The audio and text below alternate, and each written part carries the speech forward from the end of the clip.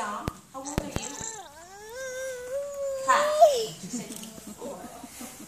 So you're doing really good. Come on, right? So are you eight? They like to talk French, eh? You're eight. But you said. She's practicing her French. Very good. How old are you? Vicom? So I asked her, how old are you? She said, Vicom. So you're practicing your French. Very good.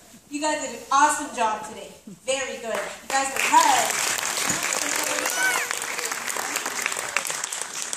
You guys notice something different about the tree? There's something missing on the tree.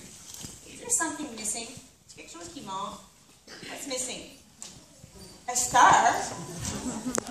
Oh, look at that. The elf had to be tall enough. Thank you, Mr. Elf.